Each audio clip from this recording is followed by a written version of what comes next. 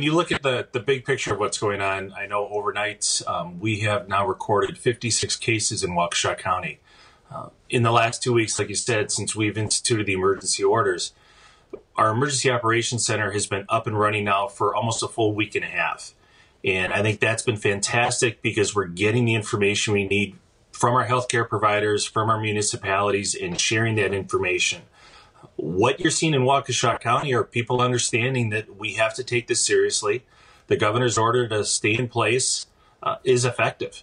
And we're, we're seeing that. And I think the biggest realization we're seeing it in is uh, kind of on the positive side that we can look at. The 911 calls are down, accidents on the roads are down.